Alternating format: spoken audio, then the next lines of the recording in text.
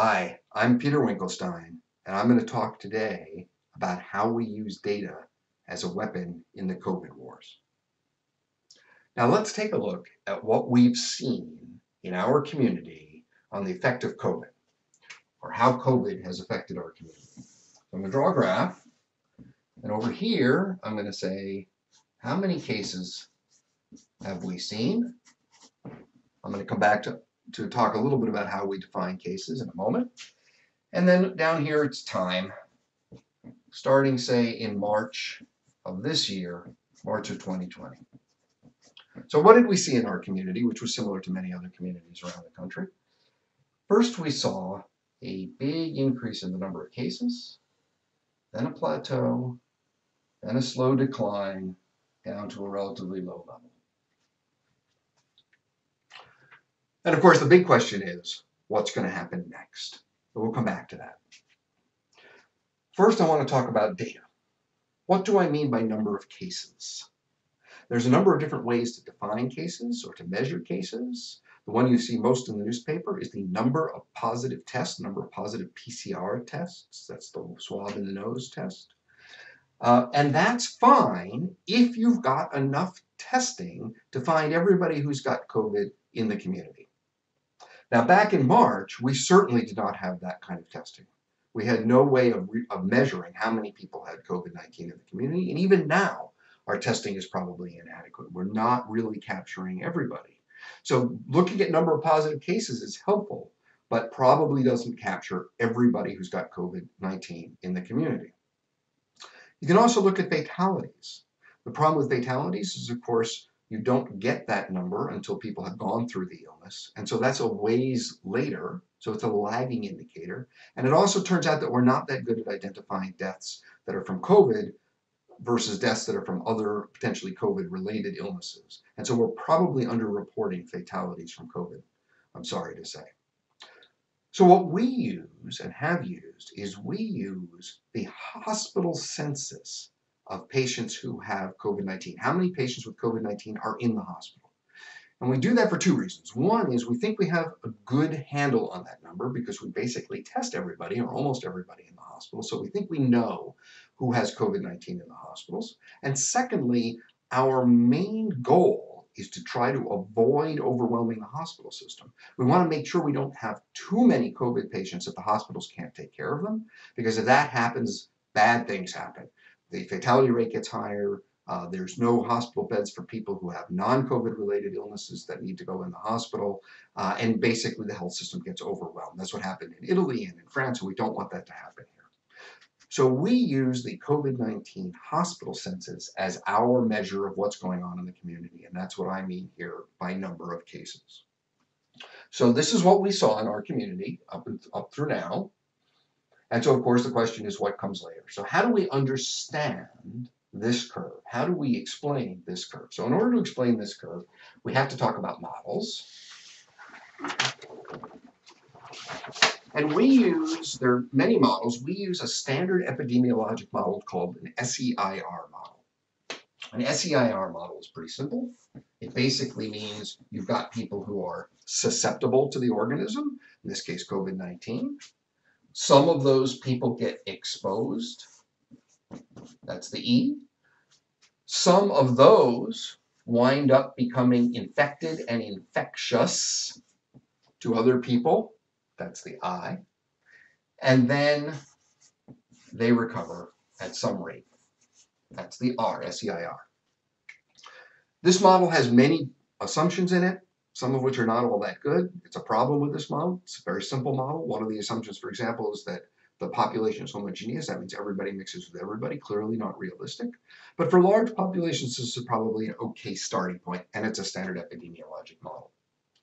In order to use this model, you have to know a bunch of stuff about the virus and about the environment and about human behavior that basically tell you how often a susceptible person becomes exposed, becomes infectious, and how long it takes them to recover.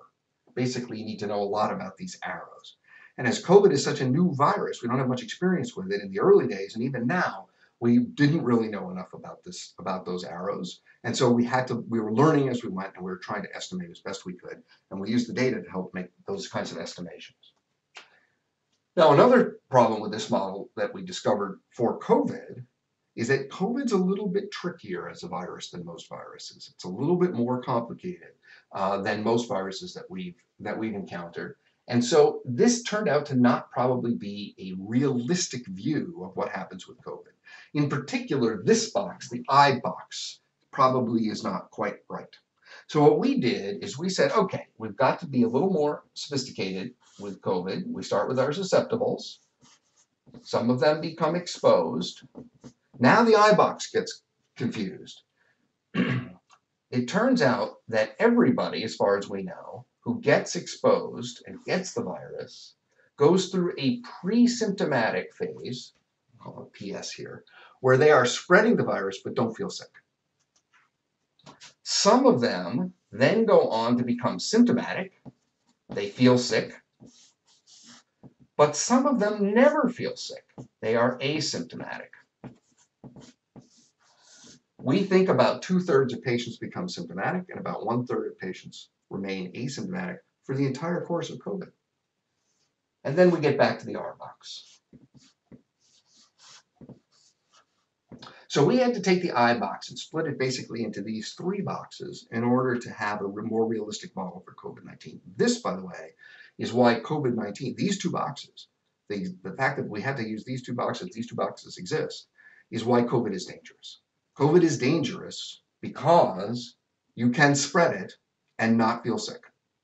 Everybody does that for some period of time, and a bunch of people, probably about a third of people, do it for the entire course of the illness. This is what makes COVID dangerous. Now, in this model, one of the key parameters is what we call beta, and that describes how well the virus goes from person to person. So how often does a susceptible person become infected? Beta depends on a bunch of things. Partly depends on the virus, how infectious is the virus. It also partly depends on our behavior. In particular, it depends on how close we get to other people and how likely we are, to spread it to other people.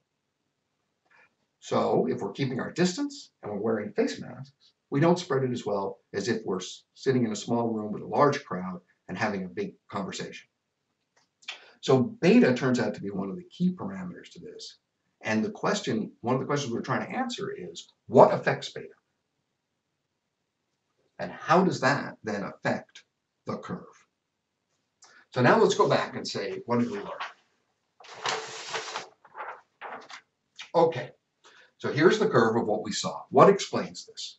How, what parameters do we need to put into the model over time in order to say this, this is the curve that we would have that we got and would have gotten with the model?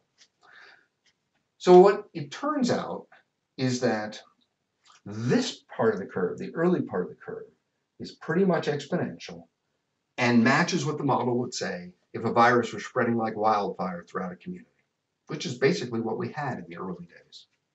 But then this part of the curve, where we went from a plateau and now down to a low level, this part of the curve is largely explained if social distancing and face mask use work if beta is reduced by social distancing and face masks, you get this shape of the curve.